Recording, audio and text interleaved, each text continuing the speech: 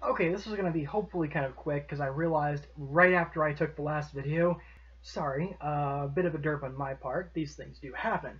Um, so I asked a question. I think it was the very first video of this, this particular series. I asked a question and I said, what was the worst for cause out of three groups? And I had swore, well, not quite swore, but I said, okay, don't worry guys, I won't leave you hanging. I want to make sure I hold my words whenever I can. Um, so I, I, said, what was the worst for cause between the defender, the critic, or the person that was within the cause? And uh, I swore that I would let you know I wouldn't leave you hanging and kind of get into the answer to that and why. So by now you've probably kept this question in mind. And so you're wondering, Philip, what is it? So we're going to go down the list. We're going to pro, kind of pros and cons of each. Okay. The person that's within the cause, the member of the movement, participant. We'll go with that, participant.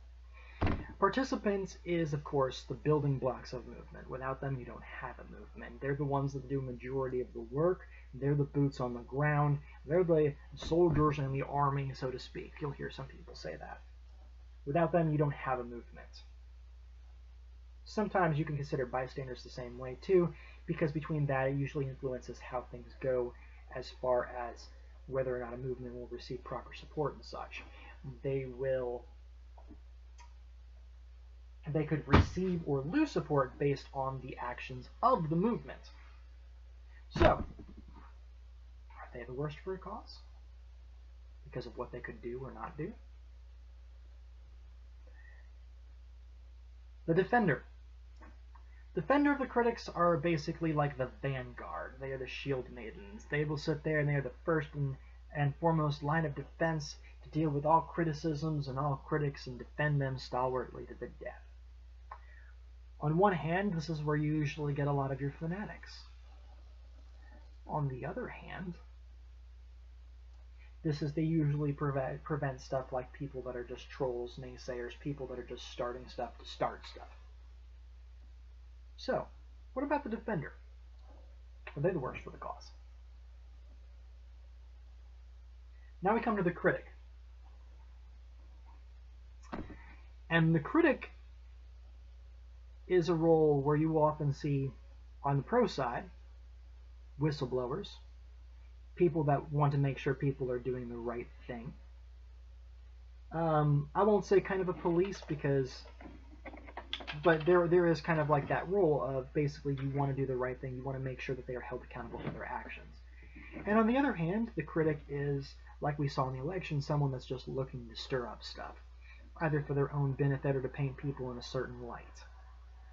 So that's the pros and cons of a critic. Do you think the critic is worse for the cause?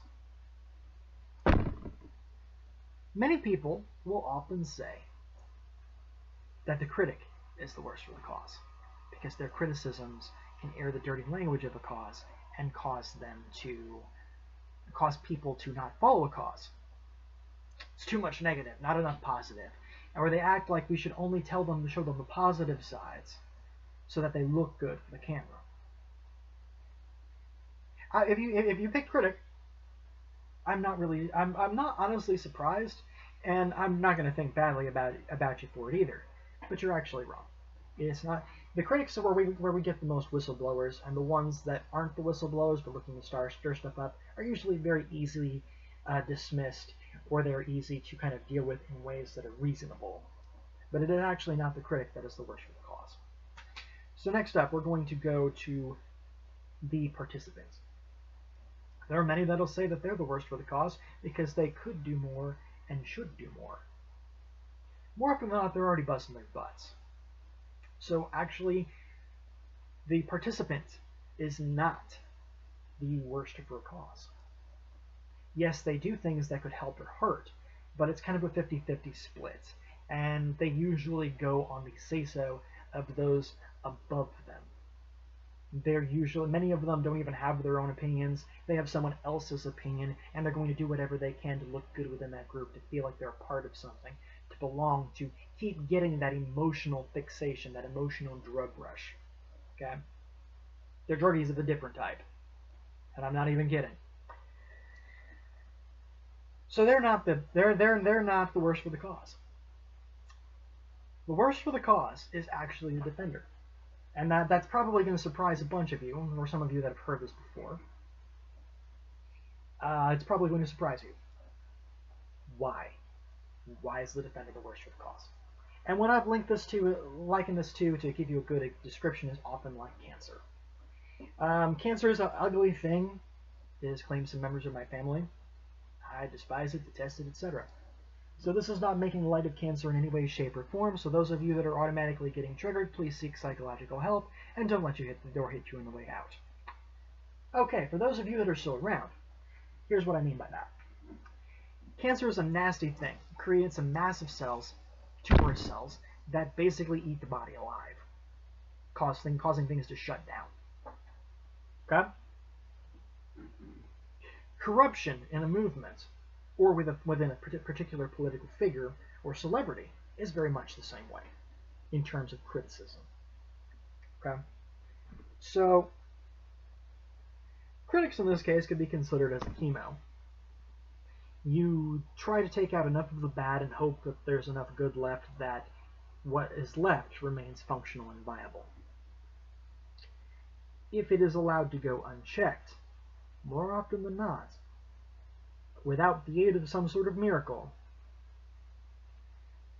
the cancer will become terminal or the corruption will become terminal and the person or movement will collapse or become something that is not at all what movement's supposed to represent. It will become it will become a pile of crap, pretty much. So, in that same regard, the reason that the defenders can be the worst for the cause is because they don't tend to allow any criticism. They won't challenge their own beliefs, and they can't handle anyone else doing the same. Look at every major story that's hit. Look at the defenders of every single one of those political fronts, on all sides. How many of them can challenge their own beliefs? They can't.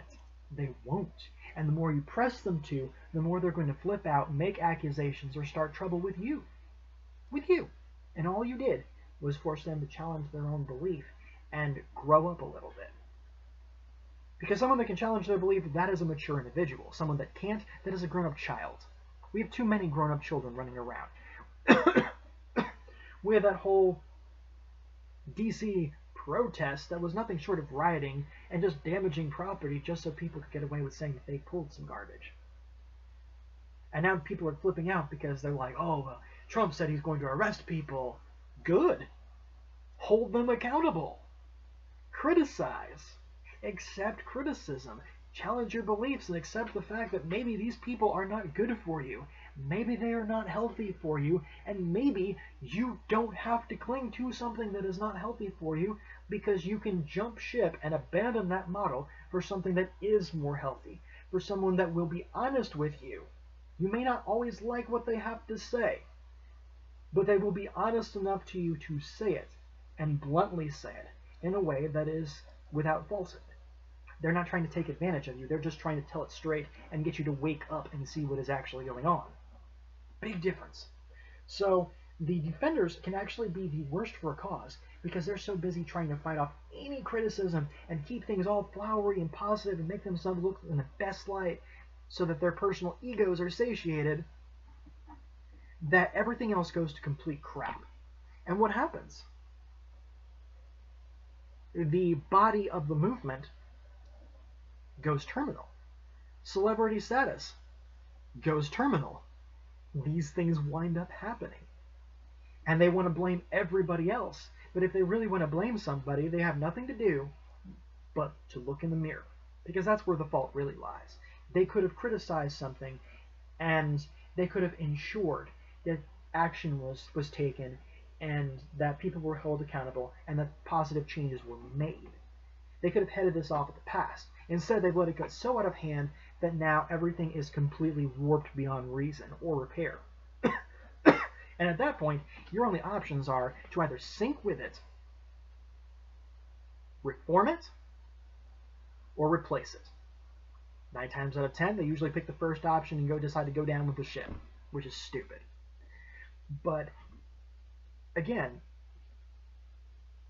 in this sense, they are the worst because much like the chemo, you know, they they well, actually, they, they would be what people they would be trying to prevent the chemo. They would be trying to prevent any type of cure or remedy because oh well, this is perfectly fine as it is. You're just getting in the way. No, the defenders are getting in the way. They've become so fanatical that they've gone from support of the situation to worship of it, and they can see no other option, no other alternative, and they won't allow it. So in that regard, they can be the worst for a cause. Likewise, support of a celebrity, support of a political figure, and that's whether it's Obama, Trump, Bernie, Clinton. Clinton's one of the bigger ones. I've seen some inklings with Trump too, but Bush was another big one. Oh, you can't talk about him because Yes, I can. I can talk about him, and I will. Onision, same thing. His supporters do the same stuff. They are a hallmark of that. These defenders are allowing these abuses to continue because they support someone who is lying to them and is quite upfront about how much he is lying to them and is basically bragging to them that he is getting away with it. These are things people need to understand. So. I just wanted to cover that before I uh, kick off for the evening. So I wanted to make sure I covered all my bases. And I was like, okay, did I cover everything? And I'm like, oh, I missed that. I could have let it. I could always let it slide, but um, I said I was going to do something, so I'm going to do it. So sorry about that, guys. Um, I will see y'all again soon, hopefully, and um, hope you enjoy. Have a nice day.